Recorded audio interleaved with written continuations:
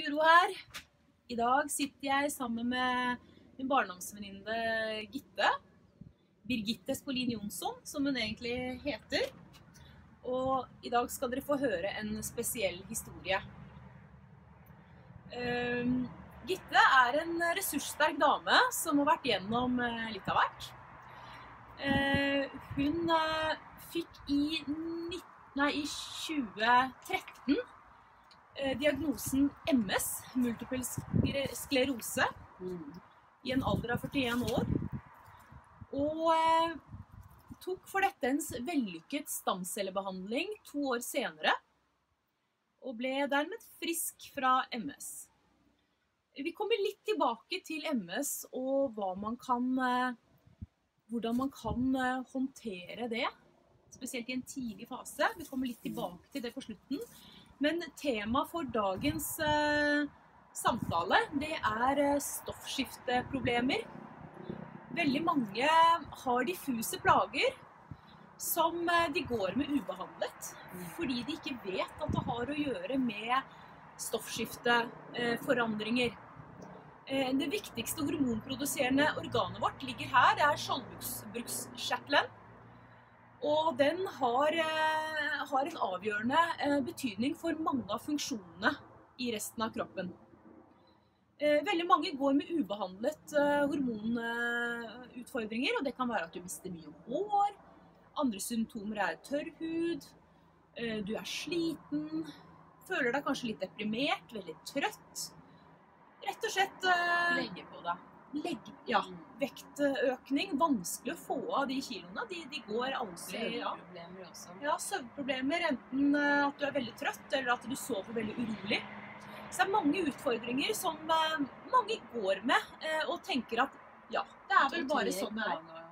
Treg mage, ja. Det er noe, henger litt sammen med at vi mange går opp i vekt også, Mm. fordi de har en forandret øh, øh, Ja, rett og slett har en dårligere fordøyelse. Så eh, Men Gitte her har, eh, fikk konstatert eh, stoffskifteforandringer for eh, et års tid siden. Mm. Og ønsket å ordne opp i det uten å ta foreskrevet legemiddel. Legen kan gi hormonpreparater for å balansere hormonene igjen. Så da kan du isolert sett rette opp i den ubalansen i- ved å få hormoner, kunstige hormoner tilført. Kunstig tyroksin. Kunstig tyroksin får du da. Eh, Men Gitte valgte å ta en litt alternativ tilnærming. Eller du valgte rett og slett å se på det på en naturvitenskapelig måte og tenke hva dette her er en årsak til dette. La meg finne årsaken. Så går jeg på årsaken og forsøker å løse den. Mm.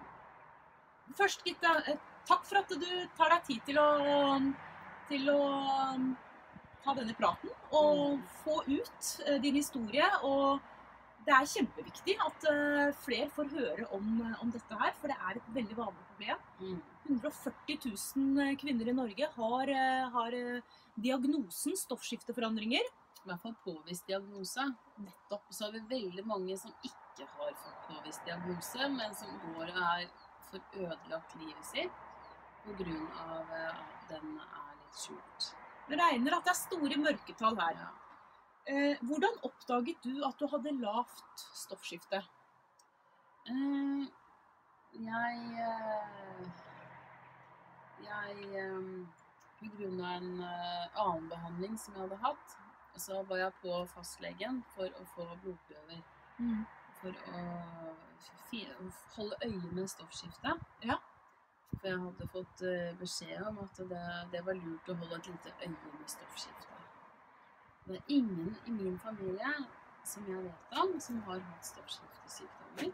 Nei. Så jeg trodde ikke at jeg heller ville få det. Men øh, øh, jeg har lært meg til å følge med på blodprøver. Og være våken og følge med. Og, og jeg ser at plutselig så kan ting skje der, altså. Ja. Forandringer? Jeg merket at øh, jeg var trøttere. Uforklarlig trøtt, egentlig. Jeg skjønte ikke hva det var. Eh, jeg merket at huden min ble tørrere.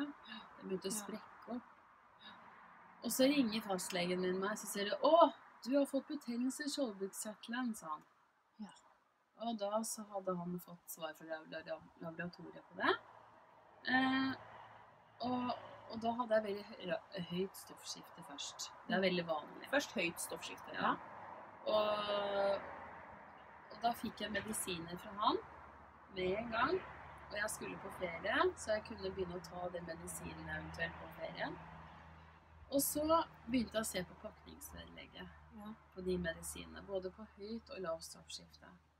Og det var altså så mye bivirkninger som det sto en kjempelang liste over bivirkninger. Og så tenkte jeg disse medisinene her, de tar jeg bare i aller ytterste nødsfall, altså. Ja. For det går på hjertet og alt mulig. Masse Så man kan få. Hva er de vanligste bivirkningene, hvis du kan huske? Det går, det går, på, går utover hjertet. Man kan få slag, man kan få Det er forskjellig Det er masse bivirkninger. Ja. Og, og du har eh, mindre vanlige, mer vanlige bivirkninger osv. Men jeg har opplevd det før.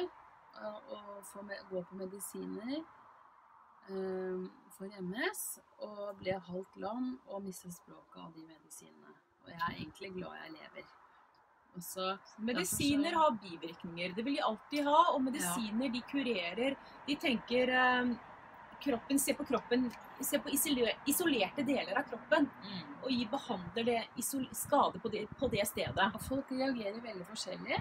Så noen kan tåle det veldig bra, mens andre kan jo gå veldig hardt utover helsen så videre. Så Ja. Så jeg, så jeg har bestemt meg for at uh, jeg vil prøve litt alternativer først. Og mm, jeg hadde med meg valium istedenfor. For jeg tenkte at hvis jeg, når jeg hadde høyt stoffskifte, så kan hjertet begynne å det går på hjertebank. Og da tenkte jeg ok, da kan jeg ta valium, for da vil jeg roe ned litt. Grann, ikke sant? Hvis jeg føler det. Da vil jeg heller ta det med ro istedenfor. Ja. Og så, fordi, fordi før eller siden så er det veldig sannsynlig at det stoffskiftet går ned til å bli lavstoffskifte. Mm. Og Det var akkurat det som skjedde. Så det var ikke nødvendig med noen medisiner for høyt stoffskifte. Men jeg tok det med ro. Jeg stressa ikke. Vi var på ferie på Island. Jeg var, var med og gikk og sånn, men jeg tok det med ro. Så du tok med ro. Eh, en av de store triggerne som kommer fram gjennom forskning, er jo nettopp stress. Eh, det er eh, en ting vi absolutt skal være på vakt for, og som kan være en årsak til at vi får stoffskifteproblemer i utgangspunktet. Ja. Men eh, så hva, hva skjedde videre? Nei, så fikk jeg lav stoffskifte, og da merket jeg at det gikk veldig utover huden min. Um, jeg ble veldig trøtt. Jeg ble veldig sånn utmattet. Ja. Og det var sånn at du, du sto opp om morgenen, eller du våknet om morgenen, men du ville bare gå og legge deg og sove videre, ligge i senga hele tida. Helst ikke skifte, ikke dusje, ikke, du hadde ikke ork, du hadde ikke energi til noen ting. Um, og huden min ble veldig dårlig. Og det begynte å svi på beina når jeg dusja. Jeg fikk sår. Huden sprakk opp. Og jeg begynte å få sår i ansiktet også. Så huden ble veldig sår. Det svei. Eh, og så tenkte jeg eh, Nå må jeg prøve å finne ut av litt. Og sette meg litt på skolebenken. Og så fant jeg ut dette med jod at eh, jodmangel i Norge Og faktisk i 60% av befolkningen i verden så er det jodmangel. Men det er for lite jod i jorda.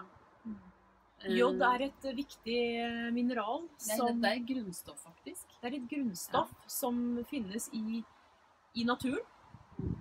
Og spesielt gode kilder til jod er jo saltvannsfisk, hvit fisk. Spesielt hvit fisk. Det er salt, havsalt. Andre gode kilder til jod. Tang, tangmel. Tangmel her. Jeg har plukka tang selv og tørka. Så det bringer oss over til eh, neste delen her. Hva, hva, hva gjorde du da? Hva, for nå var det jo nærliggende å begynne å ta medisiner. Du hadde jo sterke symptomer. Ja. Hud som, som flasset opp, eh, hår som du mistet. Du kom Mm. deg nesten ikke ut av senga om morgenen. Sterke symptomer. Ja, veldig Hva gjorde sterke symptomer. Så sa legen min Men det var én ting jeg reagerte på. Fastlegen min sa Jeg spurte om å få komme til en spesialist. Til en endokrinolog. Og så sier fastlegen min at ja, men det, det er ikke nødvendig, det, vet du. Vi, det offentlige kan, ikke, kan ikke bruke penger på det. For jeg er jo like flink, jeg, som en eh, spesialist. Og så tenkte jeg nei, det er du ikke. Du er bare en fastlege. Du er ikke en spesialist, altså. Eh, og så tenkte jeg at jeg vil ha second opinions. Og jeg tok kontakt med Volvat, og jeg fikk snakke med en endokrinolog der. Og jeg skjønte at det, det fins masse kunnskaper der ute.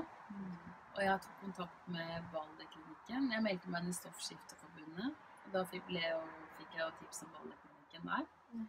Og så leste jeg meg opp. For jeg tenkte at altså, hvis J er viktig eh, Jeg vil gjerne ha det hver dag. Jeg orker ikke å spise torsk hver dag. Det, Gjør du ikke det? Torskevær, hver. Nei, så da tenkte jeg at eh, jeg vil ha tilskudd med, med, med jod. Og så spurte jeg da legen min på Balderklinikken, som var veldig flink. Hun sa at selen, sa det hjelper. Eh, du kan prøve det. Det er veldig uvanlig at eh, vi har pasienter som ikke vil ha medisiner. For vi er så vant til å tenke medisin med en gang. Ja. Eh, så eh, du, er, du er en veldig uvanlig pasient, sa hun. Og så sa hun eh, Men så skal du få B-vitaminene dine. Og de vitaminene det bør du helst kjøpe på sykehusapotek i Sverige. Eller eventuelt i København. Eh, her i Norge så får man eh, Det har vært vanlig å få B12-vitaminer gjennom sprøyter. Ja. Men i Sverige og i København så gir det det i pilleform. Og det får du vanlig på apotek uten masse om og men og gjennom lege og sykehus og sånt. Det, det gjør de bare i Norge. Så eh, når Gitte da, når du var hos legen, så sa jo Gitte da fra at eh, hun ville prøve å kurere stoffskifteubalansen, eller stoffskiftesykdommen, med, eh, med, en, eh, med vitamintilskudd istedenfor medisiner. Ja. Og da eh, var heldigvis denne legen eh, også eh, litt eh, naturvitenskapelig fokusert. Hun hadde også et fokus ikke bare på, på legemidler, så hun hadde kunnskap også om alternative måter å kurere stoffskifteubalansen på. Mm. Hun anbefalte jod, selen, D-vitaminer og B-vitaminer. Ja. B12, B6, B3. Um, så Hvor lang tid tok det før du merket en effekt av de kosttilskuddene som du ga deg selv? Det gikk ganske fort, faktisk. Sånn Sånn si et par uker, da. så raskt, ja. Mm, mm. Det gikk ganske fort. Tok du en blodprøve, eller hvordan fikk du eh, konstatert eh, Fordi at stoffskifteforandringer gir seg utslag i noen prøver.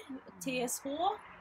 Eh, man ser på de to hormonproduserende stoffene T3 og T4 og antistoffer. Det er det man måler med en blodprøve. Men hvor eh, tok du en ny blodprøve? Ja da, jeg har jo her Man må som pasient så må man være sin egen forsker. Her er alle de blodprøvene jeg har tatt i løpet av tre år. Eh, Nå skal vi huske at Gitte har vært gjennom en, eh, Ja. en MS-diagnose og en eh, periode både på sterke medisiner for det og en stamcellebehandling på Uppsala sykehuset i. Sverige. Så, så Gitte har jo en ganske stor journal, naturlig nok. Det her er bare blodprøver. Ja. Så det her er bare en del av journalen. Ja. Det her er bare blodprøver, og det er for å holde øye med mange ting i kroppen. Eh, men jeg er vant til å følge med på blodprøver. Det er veldig viktig å ta godt vare på eh, blodprøvene man tar. Hvor ofte bør man ta blodprøve hvis, når man finner ut at man har en ubalanse? Når man har, jeg vil si en gang i måneden. En gang i måneden så bør Så man ta Ja. Og så må man følge med på hva som skjer. Eh, eh, Legen eh, anbefaler en gang i halvåret. Ja. Men du vil si oftere enn det. Men det er egentlig sånn at jeg, jeg krever jeg, jeg, Nå trenger vi en ny blodprøve. Ikke sant? Og, og det er ofte sånn eh, i Norge at du får det du ber om, men du må kreve. Ja, ja. Hvis du ikke krever, og hvis du ikke spør, så er det ingen andre som gjør Nei, det. du får ikke tilbud om det.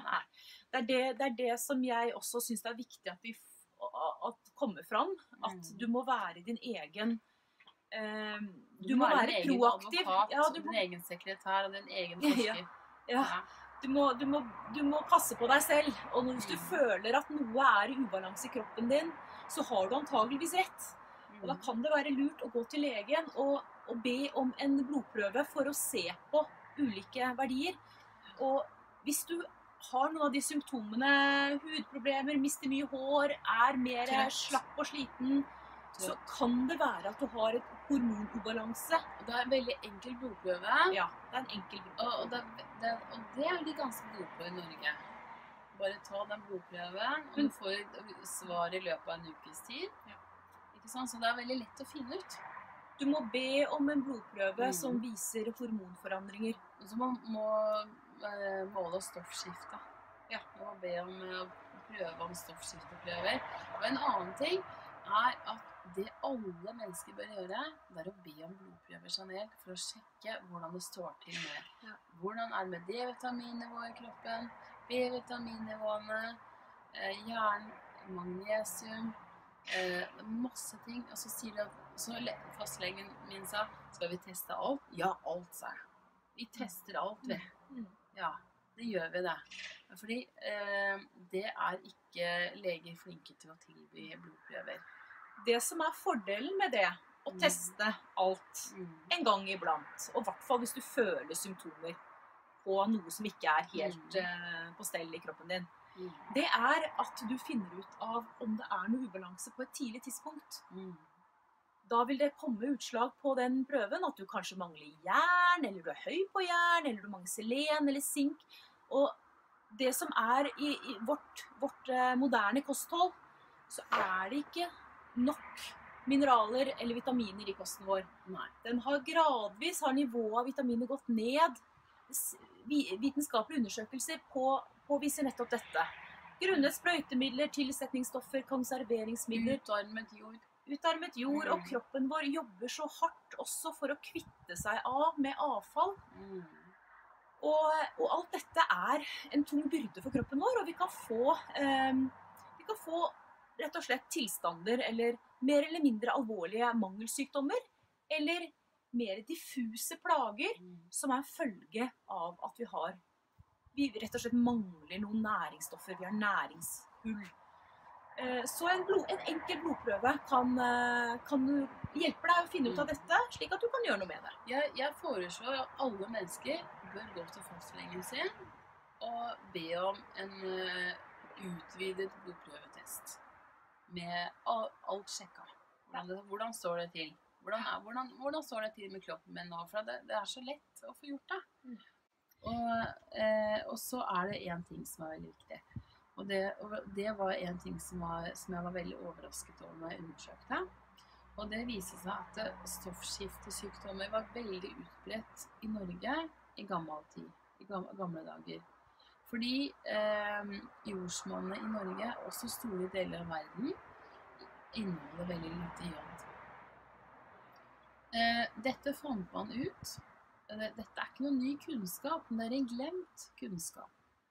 Eh, I Kina og i Japan så har man vært klar over dette med jod i mange hundre år, faktisk. Eh, sånn at eh, Og der bruker de veldig mye tang med f.eks. sushi. Da Mm. bruker de mye tang. Ja, ja. ja. Mm. For vi vet at det er viktig med jod. Men her i Vesten så har vi glemt det. Men før i tiden, i gamle dager, så eh, fant man ut av dette her. Og eh, man tilsatte jod i eh, fôret til kuene, så at man fikk jod i melka. Mm. Melkeproduktene. Men nå drikker vi jo ikke så mye melk lenger. Nei, vi gjør ikke det. Og vi importerer kanskje også eh, yoghurt f.eks. Oster. Altså, altså det ikke er tilsatt jod. Og, eh, um, og så Man regner med at eh, eh, stort sett så mangler folk i Norge i hvert fall to ting. Det er D-vitaminer, det er det ene, og jod er det andre. Og det er to veldig, veldig viktige ting som man har blitt mer og mer klar over at eh, det har veldig mye å si for helsa. Bra. Og for gjennom kunnskap så kan vi jo også gjøre noe med det. Ja. Så hva vil du, Gitte, hva vil du si til de som, eh, som får påvist stoffskifteforandringer, men som tenker at åh, det er jo mye enklere å bare ta disse pillene fra legen.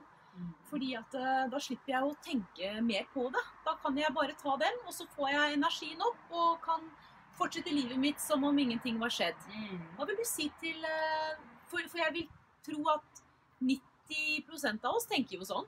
Mm. Hva vil du si til, eh, hva vil du si til dem? Jeg har jo sett uh, i familien min så, så har vi stoffskiftesykdommer.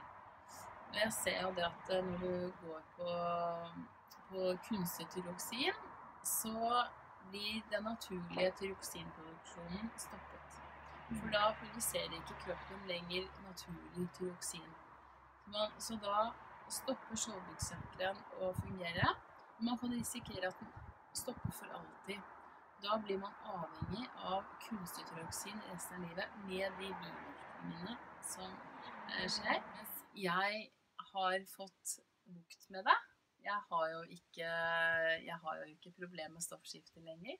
Det er jo en, en viktig poeng i historien Mm. her, å få fram at du har jo blitt frisk. Ja. Du fikk jo gladmeldingen fra, fra legen sin nå for litt siden Ja, om og, at eh, og, ja, og fra Aker sykehus, Ja. som var veldig overrasket over hvordan kunne jeg bli frisk fra stoffskifte, og mitt lave stoffskifte, og min betennelse i skjoldbruskkjertelen, og hva er det som har skjedd? Så sa, Ja. min endokrinolog på Aker sykehus, ja, men du er jo helt frisk, du. Ja. det er sånn Yes! I can do it! And if you can do it, you can do it! And I can do it! Så jeg syns jo det her har jo vært, eh, vært veldig spennende. Eh, vært veldig tidkrevende eh, å være sin egen forsker og finne ut av alt selv. Men eh, det har vært en fantastisk opplevelse. Det der med å bli frisk fra en stoffskiftesykdom. Ja, for det er en, det er en enorm medisinfri. medisinfri. Slipper å måtte ta disse pillene hver dag. Mm. Og en god følelse. Du har kurert deg selv. Du er frisk. Du kan eh, fortsette livet ditt uten å måtte ha med deg piller, altså medisiner. Kanskje du må ha kosttilskudd, men det er jo eh, noe helt annet. For det er jo naturlige eh, vitaminer som også, eh, som også vi trenger, men som ikke har noe med legemidler å gjøre. Mm. Eh, men jeg tenker at du sier jo at det er tidkrevende. Og, og, og du har brukt mye tid på å finne ut av dette. Men det finnes veldig mye informasjon der ute. Og vi har erfaringer fra sånne som deg, som har eh, vært gjennom dette og har funnet ut av mye. Eh, I tillegg så vet vi jo da at det er jod. Jodmangel er veldig vanlig. B- og D-vitaminer. Ja. Og eh, selen. Så ta en blodprøve. Jern også for mange kvinner er litt for lite jern. Og jern er veldig viktig for hjernen. Og veldig viktig for kroppen. Sånn at eh, vi, må, vi må være mer bevisste, vil jeg si. Ja. Og, det, og det, er, det trenger ikke være så veldig vanskelig. Um, jeg for min del, jeg har gjort det sånn at jeg kjøper dosetter, så jeg har eh, for tre uker om gangen. Og da legger jeg i vitamintilskudd i dosettene. Ja. Og så tar jeg det. Så da husker du å ta det til Ja. samme tid hver dag. Ja. Det går an. Noen eh, lager jo en, eh, en sånn eh, reminder på telefonen sin som ringer til faste tidspunkt når de Mm. skal ta vitamintilskuddene sine. Eh, og akkurat som man gjør med legemidler, legges jo også i dosetter. Mm. Men man kan gjøre det samme med vitamintilskuddene sine. Mm. Men jeg, jeg tenker, Gitte, at kanskje konklusjonen her er at hvis du har litt diffuse plager, du tror det kan komme av en ubalanse i hormonproduksjonen din, Og særlig hvis man blir veldig, veldig unaturlig oppspilt eller veldig trøtt, så er egentlig det innmari lurt å bare sjekke stoppskiftet. Ta Og Sjekke det det først. Be om, det, be om en blodprøve hos fastlegen, hvor de da ser på stoffskiftet. Og så, hvis det viser seg at det har unormale verdier, så får man sjekke vitaminnivået sitt. Og husk at jod er det veldig mange som eh, trenger tilskudd av. Det kan du bare starte å ta tilskudd av, det bør egentlig alle bare gjøre. Da, da har man jo tangmel, får man kjøpt på helsekostbutikk. Mm. Eh, hvis ikke du vil spise torsk hver dag.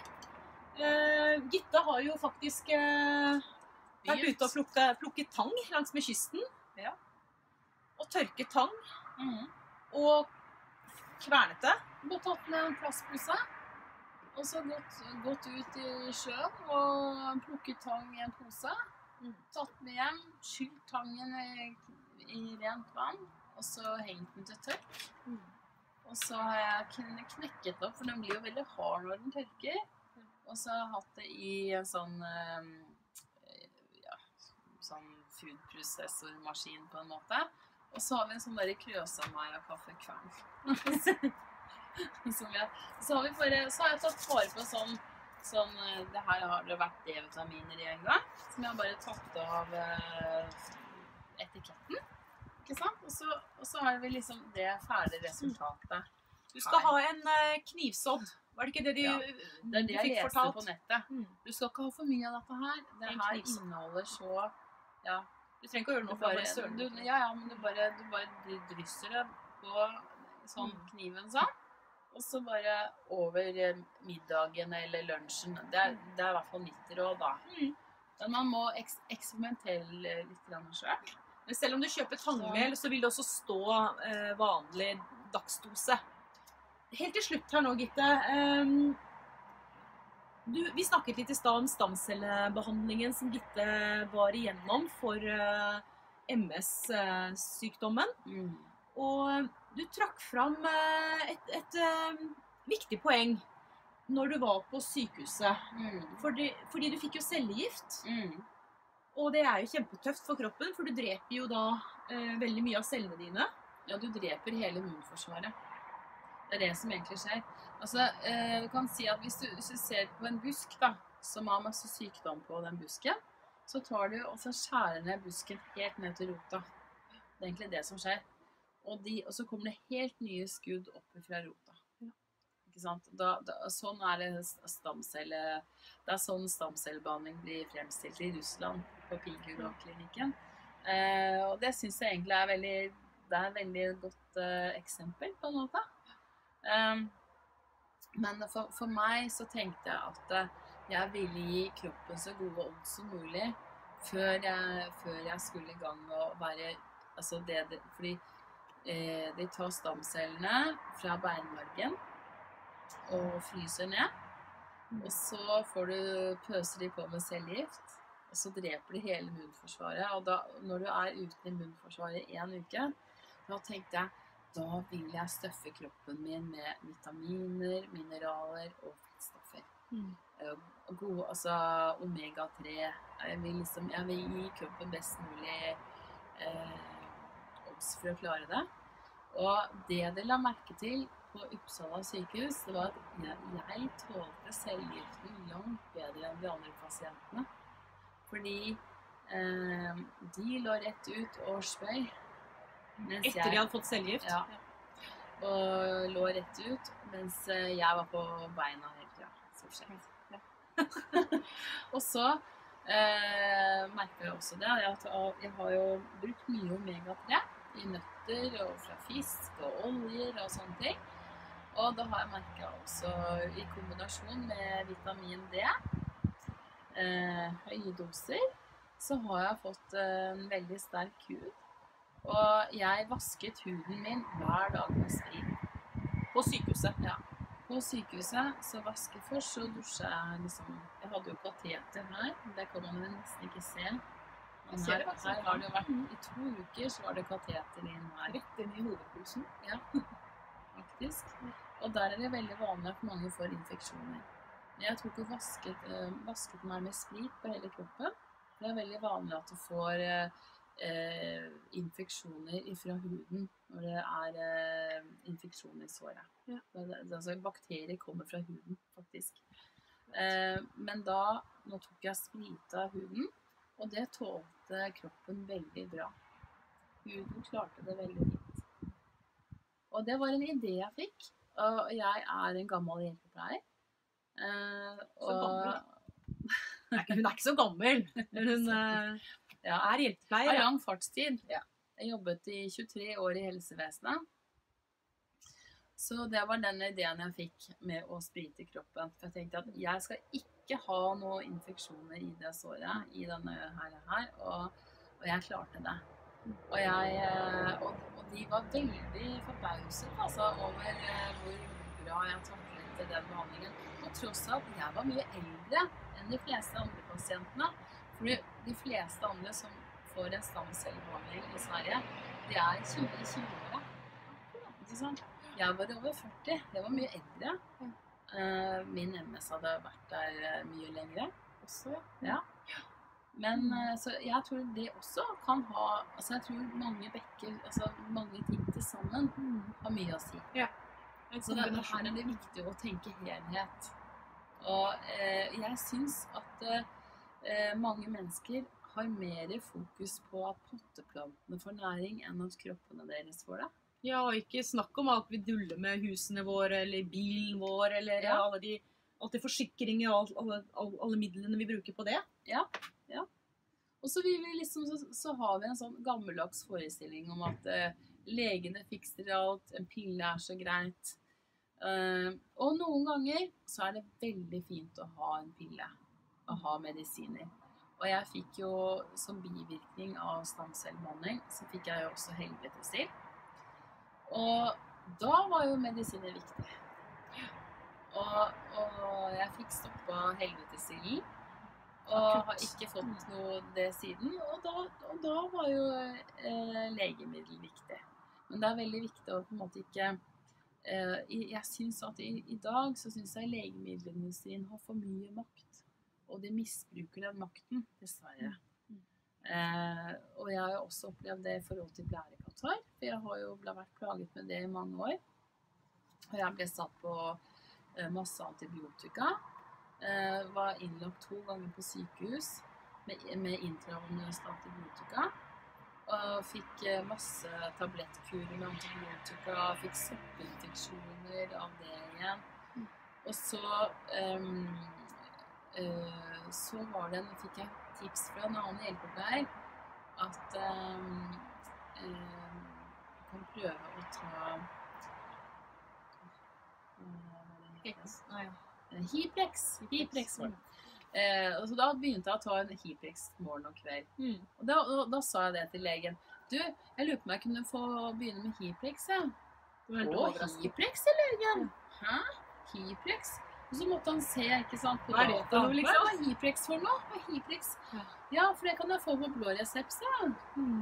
Ja, det stemmer det, så lenge. Ja. Ja, det skal du få. Det koster nesten ingenting. Og det er ingen biv, det er ikke noen bivirkninger, sånn. Nei. Nei.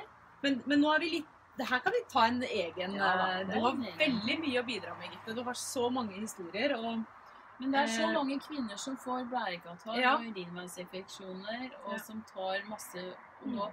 Og nå blir det masse antibiotikaresistens, og det vil bli mer og mer av det. Ja. Så derfor så er jo det også um, viktig å tenke på. Tusen takk for uh, ditt bidrag. Og eh, har dere noen spørsmål til uh, meg eller til Gitte, så kan dere legge det inn uh, under her. Eller dere kan sende, ta kontakt med meg, så skal jeg videreformidle til Gitte også. Jeg vil også legge noen eh, linker til, eh, til eh, dine hennes sider. Hun har jo vært intervjuet bl.a. på VG. Så dere kan lese mer om hennes, om Gittes historie. Mm. Jeg så på internett. Bare søk på navnet hennes, så kommer det opp litt av hvert. Positive ting. Så tusen takk for ditt bidrag. Og konklusjonen er at vi som vi har vært inne på vi, må, vi må behandle Kroppen vår er en helhet. Alt henger sammen. Vi må behandle kroppen vår som det den er. eh, en helhet av både psykisk og fysisk helse. Det er så mange ulike elementer som påvirker hverandre, og som påvirker helsa vår. Så det er dessverre ingen quick fix. Og selv ikke et legemiddel, en pille, er en quick fix hvis ikke det er en akutt situasjon, og da er det veldig fint å ha en quick fix. Men i det lange løp så må vi prøve å Så det, har vi alt å tjene på å prøve å finne eh, rotårsaken til problemet og starte behandlingen der. Og tenke litt forebygging også, tenker Ja. jeg. Absolutt. Fordi- Forebygge en boost immunforsvaret ditt, og da er du bedre rusta. Jeg tenker på hvor mange eh, mennesker som ikke hadde fått eh, eh, problemer, skjoldbruskkjertelen og stoffskiftesykdommer hvis de hadde tatt jod. Ja. Tatt jod hver dag. Kanskje det kan være konklusjonen. Bare start med jod i dag. Også, eh, I hvert fall hvis du har eh, symptomer eh, som vi var inne på tidligere. Så bare start med, med jodtilskudd med en gang. Jo, det er, det er power, altså. Du ser de bruker fortsatt jod utfortis når de opererer i dag. Jeg har alltid en liten flaske jod stående. Så jeg har både til utfortis og innvortis bruk. Så det er ikke dumt. Takk for nå. Vi ønsker deg en frisk og fin dag videre. God sommer!